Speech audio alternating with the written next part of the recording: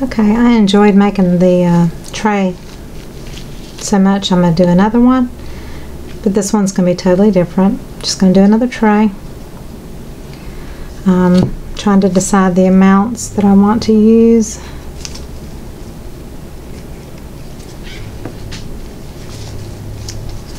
I think, I think for my, what normally would be clear, I'm going to make it um, a little bit brown. So I'm going to start with some brown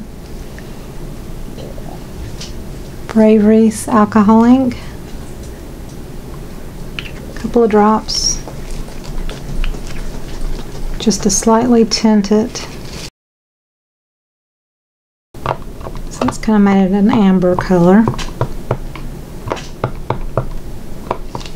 So I'm going to use a little Bombay ink. It says brown, but it really kind of looks not brown enough.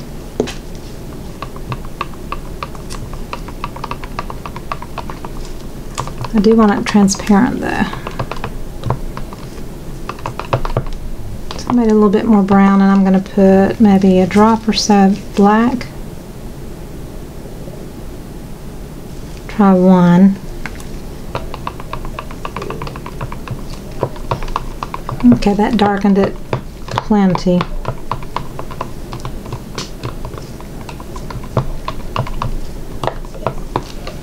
So maybe I want to add a little resin back into it.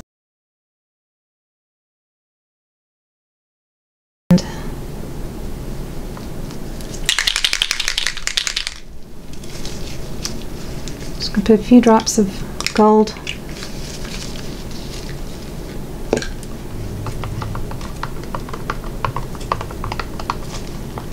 gives it a little, just a little shimmer, which is nice. So in this one, I've got one that's got about three and a half ounces in it. I'm going to put white alcohol ink.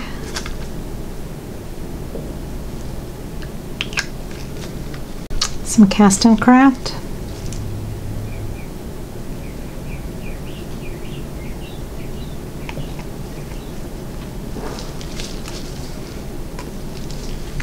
And some sparkle white.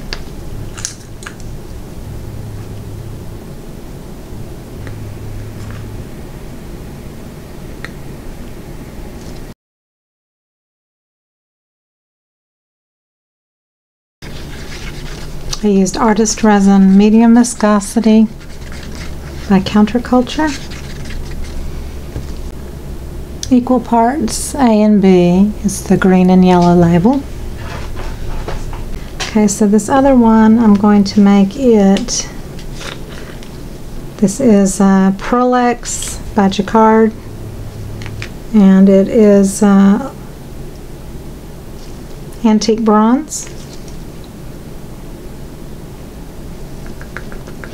And then I'm going to use by Etsy Funshine Color Shop, which is the white sparkle, sparkle white. I'm going to use brunette, which is even darker they almost, they're really about the same.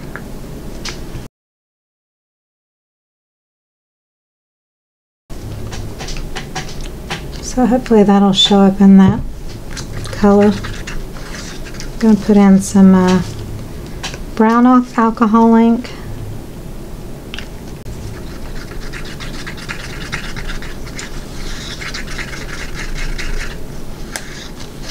So this is probably about two and a half ounces in this cup.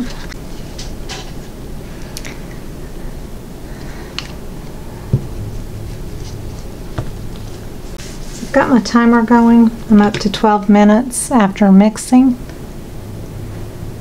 And I'm going to wait till about 20, 25 minutes before I do anything.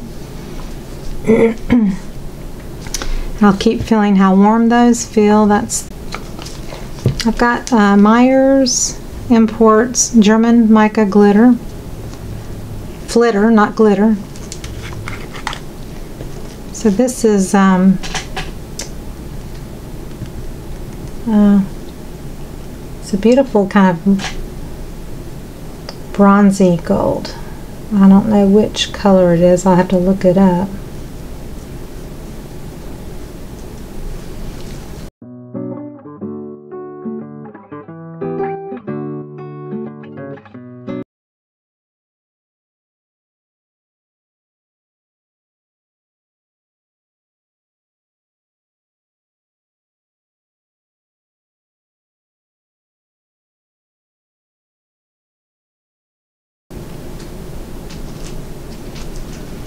Okay, so it looks different in here than it does in there because of the color of the mold. So it's been 22 minutes now.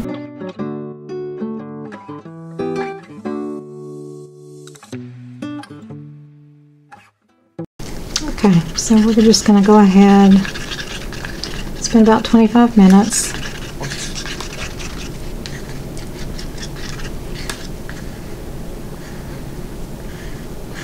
Give these a final stir.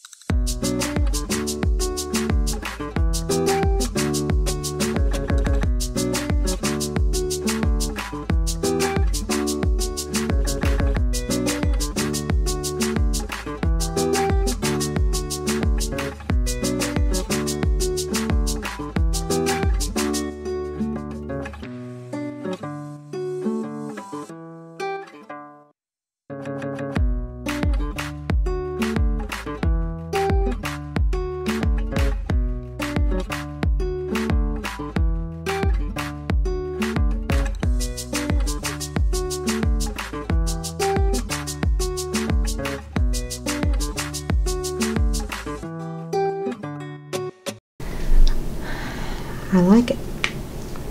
I've got these knobs. I may use them and I may not.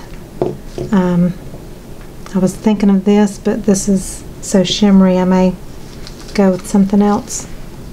The underside will be beautiful, but you really need to put the handles in on this side and put the other coat, and I can't do that with it being on the underside, so this will have to be my top side regardless of how it ends up. So I'm going to actually heat it with the heat gun just to get it moving in a little bit before it totally sets up because it is thin.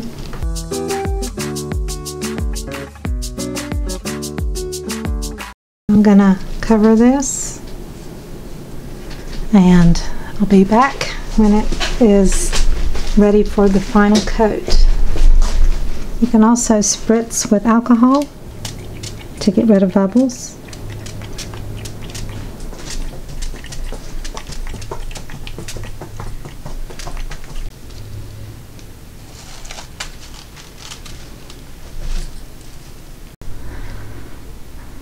Okay, so I have these knobs. They're kind of aged and I was thinking no, but then I kind of like them. So, it's very flexible. It's been um, two hours, but since the resin was thin, I know that it was set up quicker. So I think I'm going to go ahead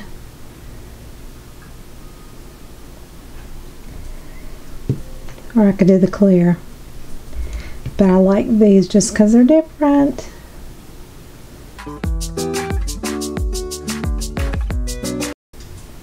So I can touch this and um, I'm, I'm going to go ahead and mix more resin so that these will lay in the resin.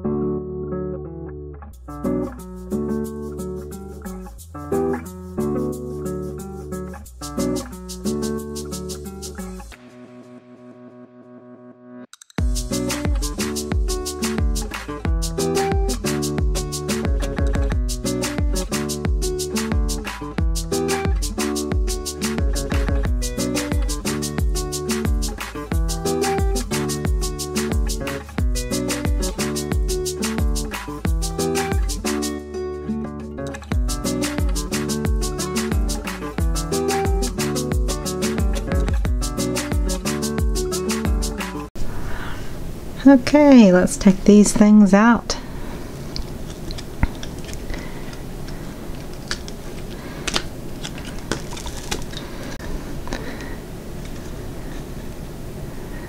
Pretty, pretty.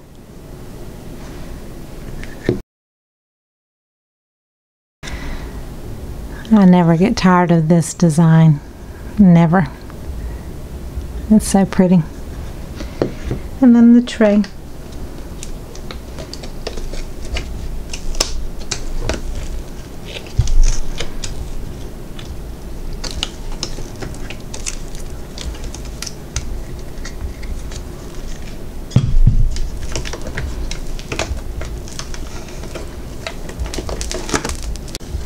That perfectly filled. Have any spillage. So there is the tray and the knobs are set into the resin. And there's the other side, which is really, really pretty.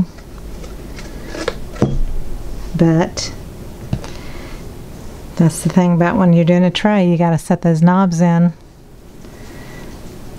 Or that's the way I like to do it. Let's put it that way. But that's really pretty. But I think this side is just as lovely. So, there's the tray and the coasters. And this one I had layered up. It was with alcohol inks and then I put gold on the top which didn't sink and so I had to put another clear coat on top of the gold. So that's pretty on that side. And there's this side which I just dripped the alcohol inks in and used a skewer and drug it in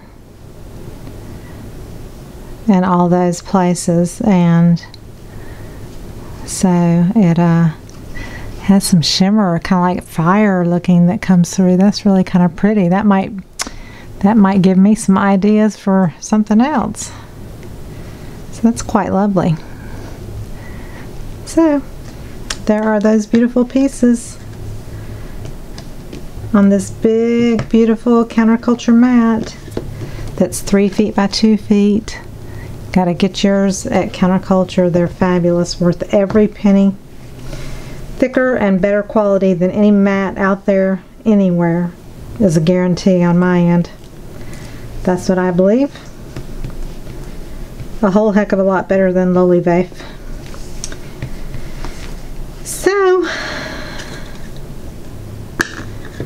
I hope you enjoyed this video and I will make more. See you on the next one. Bye bye.